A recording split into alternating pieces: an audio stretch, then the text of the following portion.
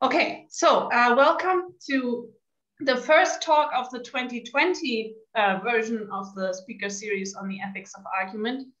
Um, as always, uh, we are recording the talk, but will not be recording the question period. Um, if you have a question, just uh, type your name or a Q uh, into the chat or even your whole question, because I'm happy to read it out for you. For some reason, you can't, uh, you don't have a microphone or something.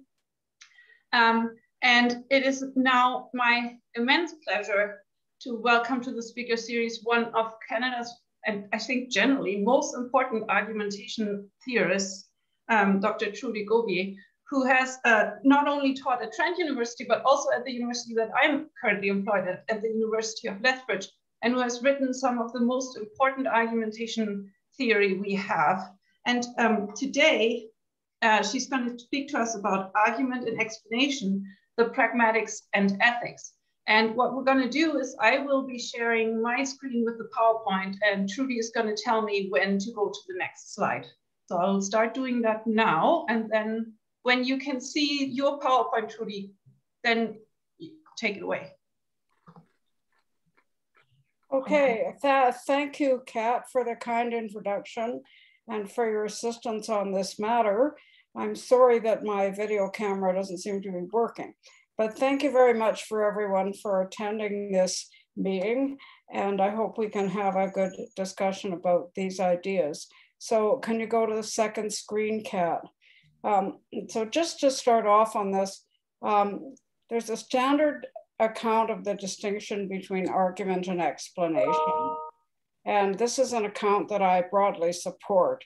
Um, an argument, as we all know, contains premise claims put forward in an effort to support a further claim, the conclusion. The arguer offers these premises as reasons or evidence to support the conclusion claim, and the effort generally presupposes that the premises are accepted and will ground a shift to the acceptance of the conclusion, which is typically in some context in doubt, some doubt in the context in which the argument is put forward. Broadly speaking, the premises are to be presumed and are offered to, the to support the conclusion claim, which is generally in doubt. Explanations have a different balance of acceptance because the claim describing what is to be explained, the explanandum, is presumed to be true or accepted. There is or was an actual phenomenon, while the factors explaining it, the explanans, may be presumed. We can say then that an argument, sorry, is to be anchored in its premises, whereas an explanation is to be anchored in its conclusion. So I've offered an, an elementary account along these lines in my textbook, and I've also written about the, the issue elsewhere. Um, I should explain that I'm articulating a distinction here, not a dichotomy. There is no exhaustive disjunction between argument and explanation because there are plenty of discourses that are neither argument nor explanation. These include descriptions, commands, narratives, and jokes, and I'm sure many other things. And there is not an exclusive disjunction because um, there's not an exhaustive one and there's not an exclusive one because uh, there are some discourses that can count both as argument and as explanation. So I've been interested in this area for um, a while. I don't work on it uh, exclusively at all, but um, one reason for my interest was that students seem to have an inordinate amount of difficulty distinguishing between arguments and explanations. Uh, another one was that I wrote a PhD thesis about transcendental arguments. And in those arguments, explanation and um, in those arguments, explanation and argument are combined in kind of an unusual and tricky fashion. Then S.N. Thomas, an early textbook writer in the area of informal logic, had presented challenging examples, uh, which he described as constituting both argument and explanation. And on the grounds of those examples, Thomas had actually contain, maintained that the distinction between argument and explanation could just be given up. Um, and lastly, and this is the most fundamental point, I think, there are these significant similarities structurally between arguments and explanations. So now screen three, um, both of them offer answers to why questions. Both of them typically involve using indicator, indicator words such as since, because, so, hence, thus, and even therefore. And they may be set out in parallel ways as illustrated here. So if we look at these um, models, we can see this profound structural similarity. Um, we can also uh, still maintain the distinction, saying broadly speaking, that an argument offers justification, whereas an explanation offers understanding. Now, there are some interesting complications here, and I might just spend a few minutes discussing these. Um, not all arguments um, concern claims about which there is doubt or disagreement. Uh, can I have screen four, please? Um, so these, are, these uh, examples have recently been discussed quite a lot, and they are in context of uh, inquiry or deliberation. We may offer for reasons for things which aren't in doubt.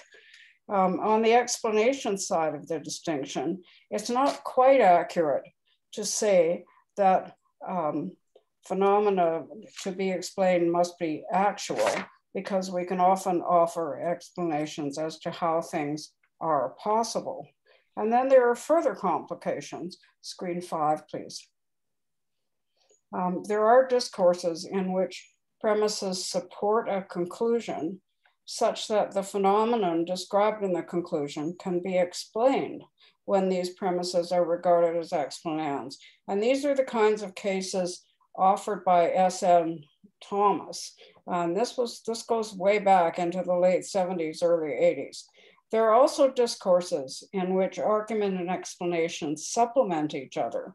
And these are considered in a recent account by Gregory Mayes, um, which is quite interesting. Um, he works mainly on explanation, but um, he, he did consider this in an article in Informal Logic. And um, he, he maintains and argues quite persuasively that a discourse may contain both argument and explanation, where these reasonings complement each other. One might, for example, offer an argument for a claim C, and then, with further statements, offer an explanation of the phenomenon described in C. Alternately, an argument might be needed to complete an explanation. For example, a claim put forward as part of an explanation might itself need argumentative support. So, and to deal with another complication, um, there are hard to classify discourses where it is unclear which claims are to be presumed or rightly presumed and who is to decide that matter. And uh, Michel Dufour has uh, articulated this account so then uh, just to go on further, read screen six now. Thanks. Um, there are abductive arguments in which an argument is offered in defense of an explanation. These, of course, are well known or um, uh, in, on the grounds that it's the best or best available explanation.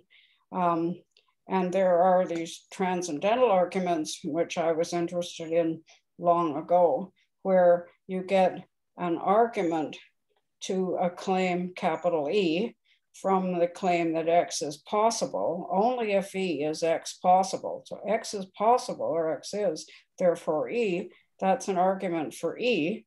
And then you have an explanatory stage here, E being established, it's then cited as a factor explaining X. So this is the kind of thing that goes on a lot in Immanuel Kant and is of great interest I became interested in this long, long ago because of a statement by um, Strawson, who had said, only because the solution exists is the problem possible.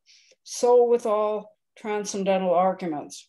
Anyway, I thought that was kind of amazing, and I thought I'd like to look into that. So I did. So, anyway, all of these cases, I think, are quite interesting and quite challenging. Um, screen, screen seven, please. Um, but I won't discuss them today. Um, instead, I want to come closer to the moral domain as is appropriate for this um, series. Um, so regarding um, explanations and arguments and indeed discourse in general, since it's communicative, it concerns relationships between people and thus can be e evaluated from a moral point of view. So we can raise questions about moral questions about discourse. Um, for example, one might maintain that a kind of discourse furthers well being or harms it, expresses regret or disregret, conveys needed information or disguises it. Such evaluative claims will often have a grounding in logic, epistemology, or linguistic analysis, and yet they are often ethical in nature and highly significant as such. I'm thinking here about broad claims of types of discourse, particularly arguments or types of arguments, or explanations.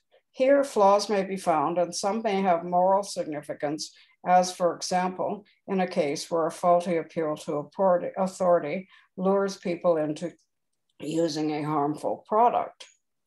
So I'm now going to um, just say a couple words about deceptiveness and intent to deceive as I'm using those concepts here. Accounts of fallacy in argument characteristically emphasize deceptiveness. An argument seems to be cogent, though it contains a type of mistake. Its seeming cogent when it is not means that it is deceptive. And if it is of a type that is deceptive, it exemplifies a fallacy.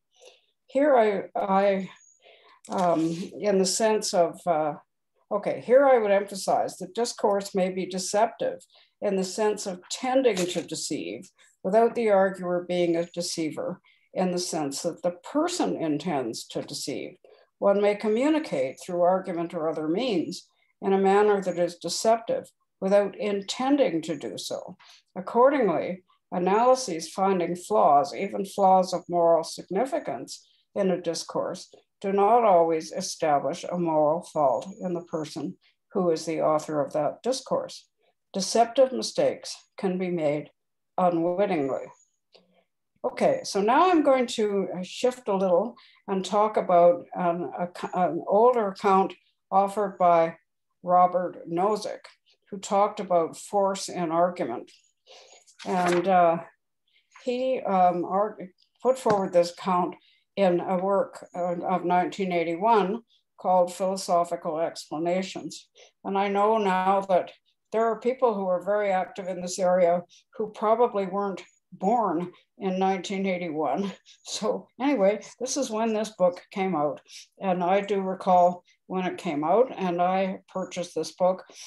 But um, I have to confess, I did not read all of it. It's huge and ponderous and, in my opinion, quite difficult.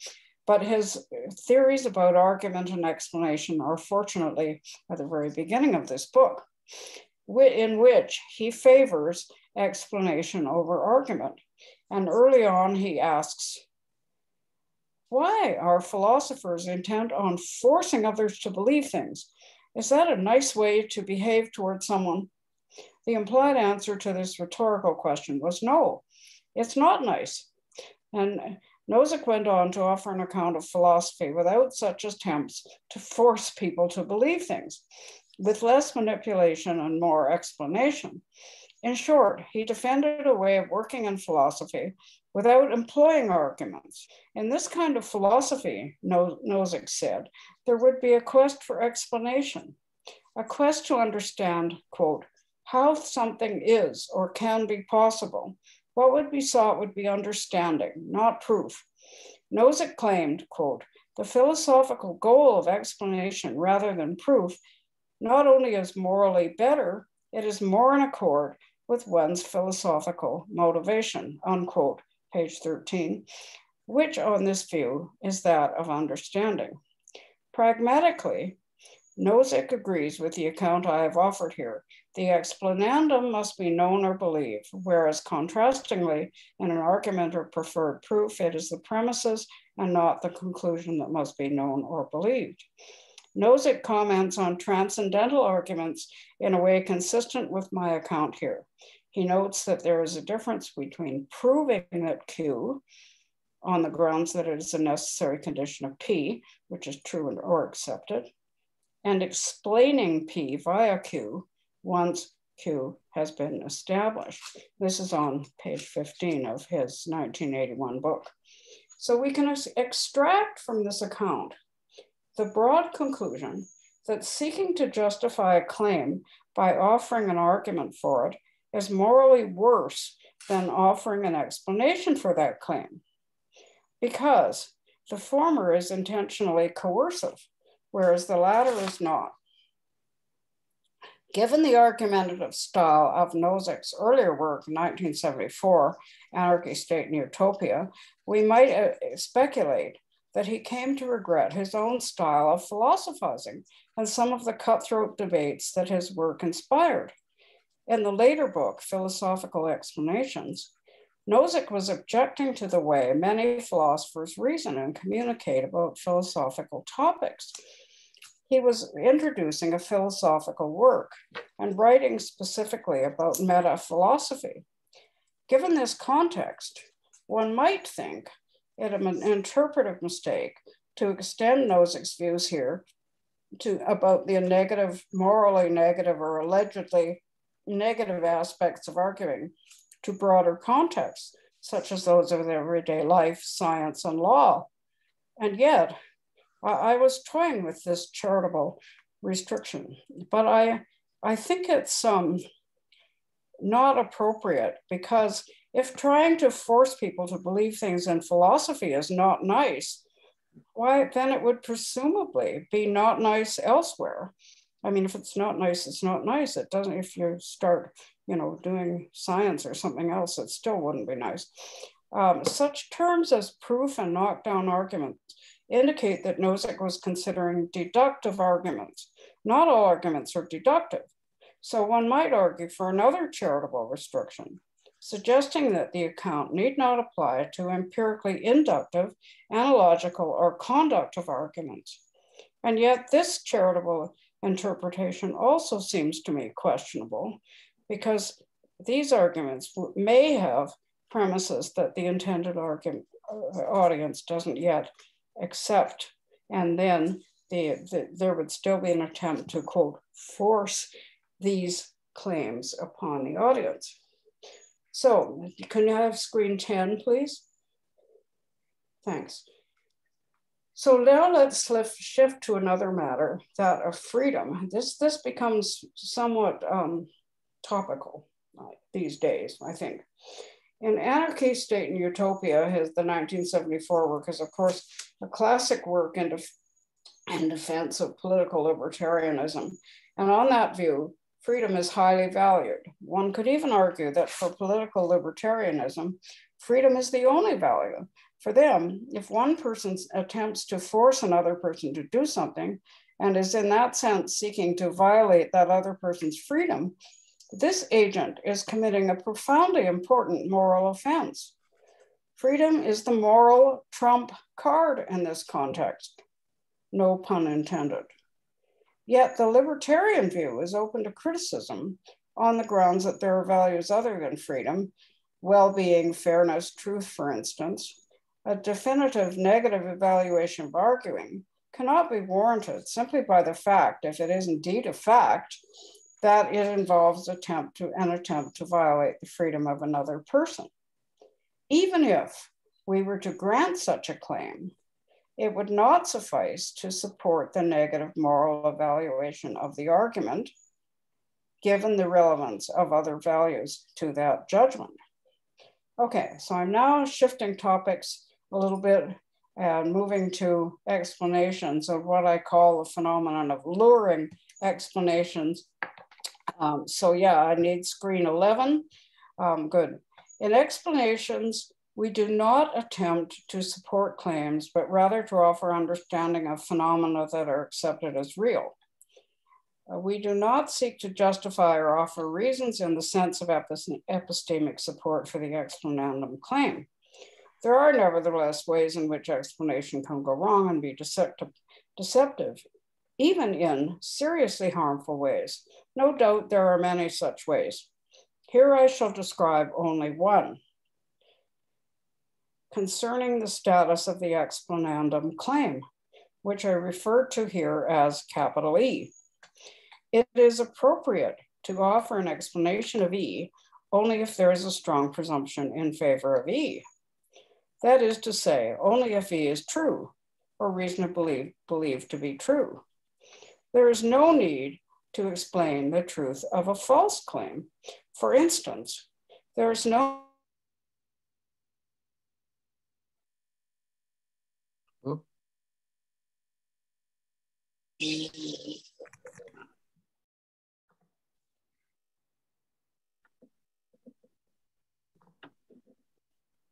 Um, I'm not entirely sure. I could try and do a finger puppet show in the meantime. Um, Kat, I think I'm back on. Hi, Trudy. Great. Wonderful. So let me start the PowerPoint again, if that's okay. You know where you were? Um, okay, I'll just kind of wing it here, getting going again. I, I've introduced this claim called luring explanations. And this is when a person offers an explanation which is inappropriate because the phenomenon that is allegedly explained never happened. So my example of this um, concerns someone who might offer an explanation of why did the royal family seek to have royal Di Princess Diana killed. Now, if they never did seek to have her killed, then it's inappropriate to explain why they sought to have her killed. And uh, if it, so that that was such an explanation i argue could lure people into believing that the phenomenon was real. That is if we explain it we presume that it was real. So if we offer to people an explanation then we're strongly implying that this thing happened. And since we offer what, what we offer is an explanation we're not giving an argument to the effect that it did happen. We're not purporting to justify that claim but we are offering account of how that claim to be and that claim is inappropriate. And um, you can give uh, similar examples quite, quite easily um, to hit a more timely one. Why did Democratic politicians establish their organizational for center for pedophilia in the basement of a Washington pizza parlor?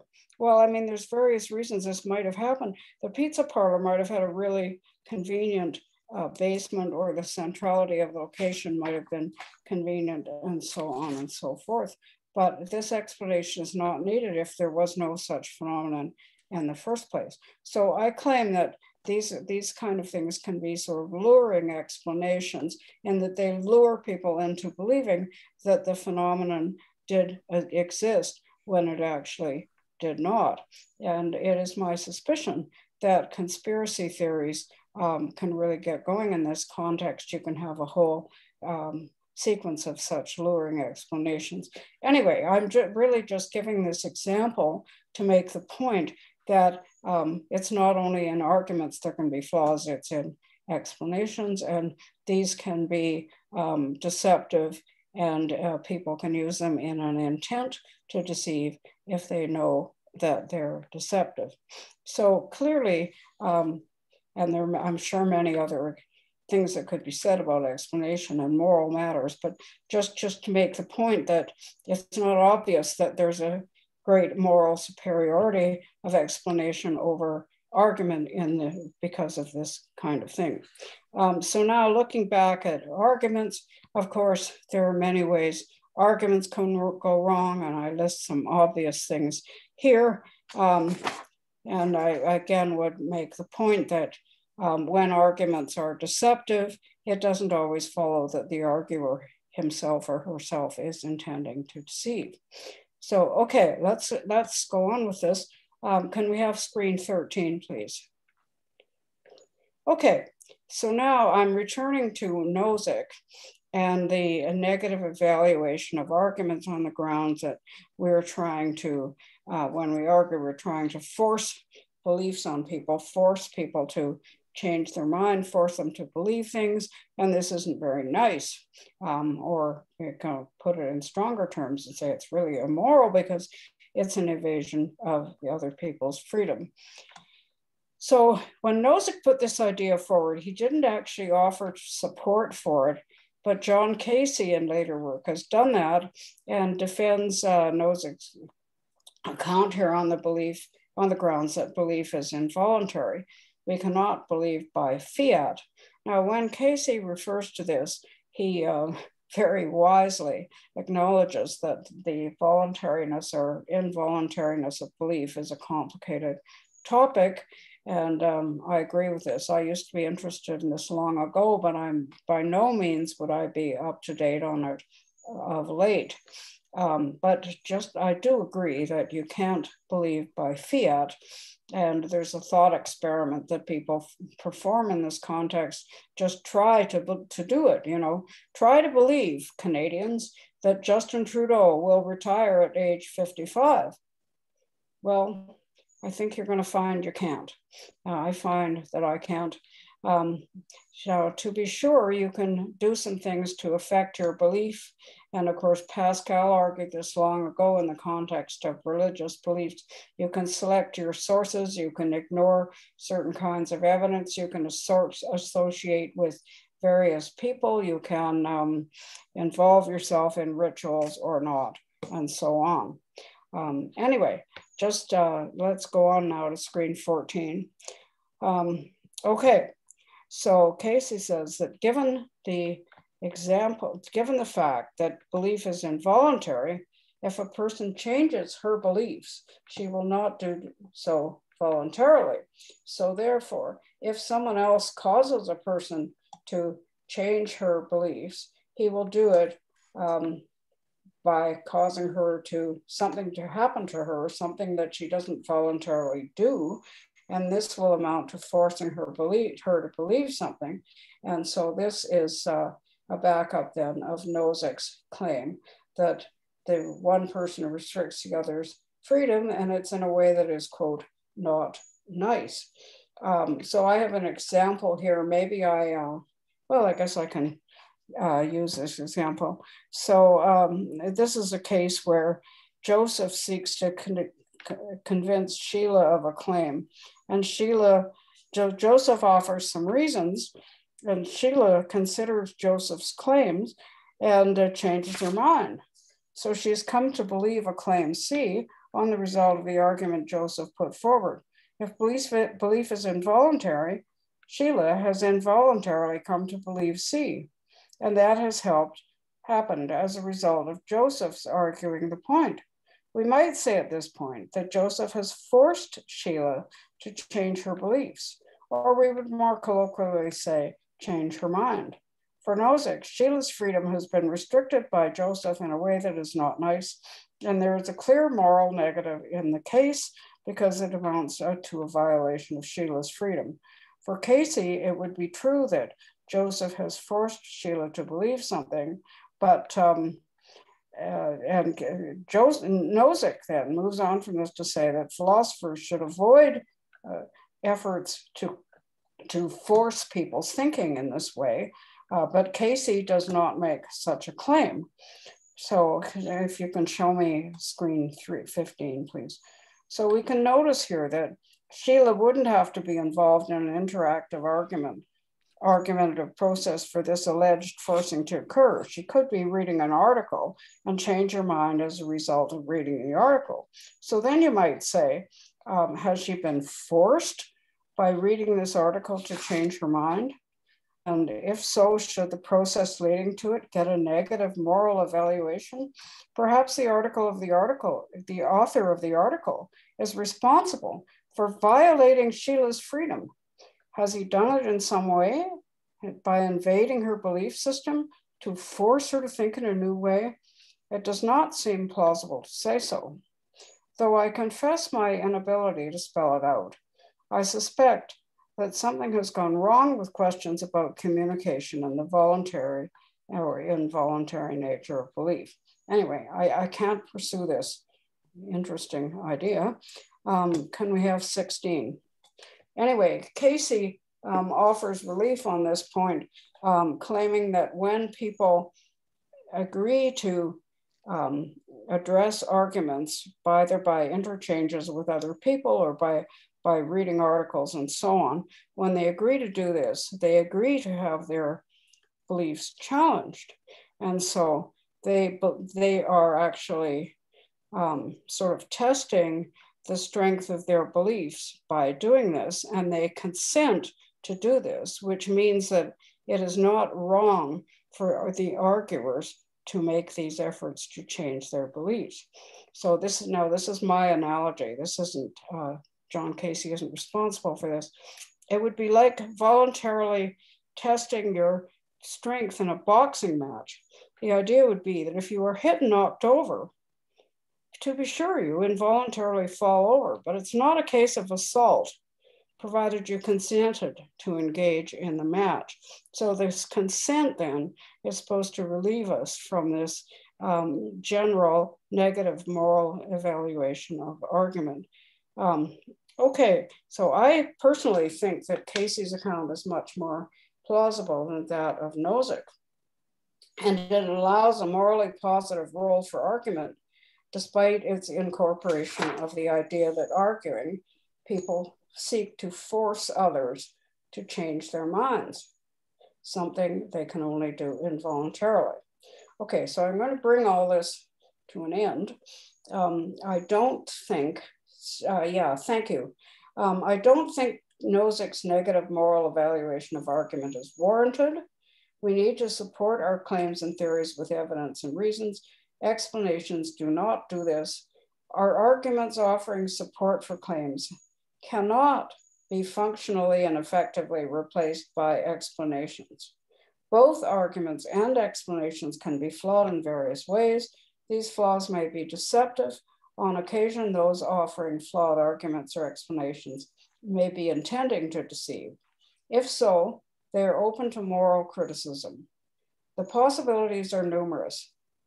Just to begin, one may say that inferences may be incorrect and hasty, and that whether as premises or explanandum, unwarranted or implausible claims may be communicated without support. I submit that there is no general superiority of explanation over argument in these regards. Sometimes speakers are unaware of the flaws they communicate in their explanations and arguments. Discourse, though not its agents, may said to be, be said to be morally flawed. Sometimes speakers and writers know full well what they are doing. In that case, they are seeking to deceive, and for that reason, open to moral criticism. Okay, well, thanks for bearing with me and my various technological issues and for uh, attending this meeting this morning. Uh, so let us thank our speaker for this wonderful talk and also for her to live through this complete failure of, of Zoom. Um, and I'll stop recording.